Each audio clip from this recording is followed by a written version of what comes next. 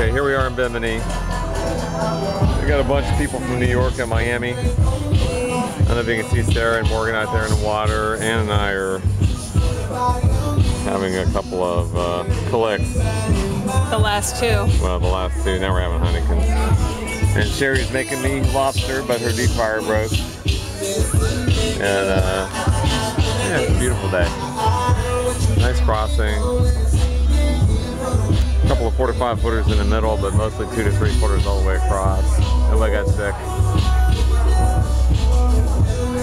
And, and I